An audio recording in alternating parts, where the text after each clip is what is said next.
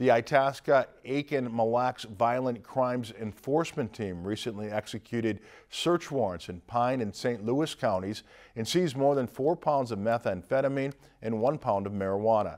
37-year-old Nicole Ann Mackey of Culver, Minnesota was arrested and is being held in the Pine County Jail on charges of first-degree possession of controlled substance. Additional search warrants were executed at Mackey's residence where a handgun and ammunition were recovered. Lakeland News is member supported content. Please consider supporting Lakeland News today.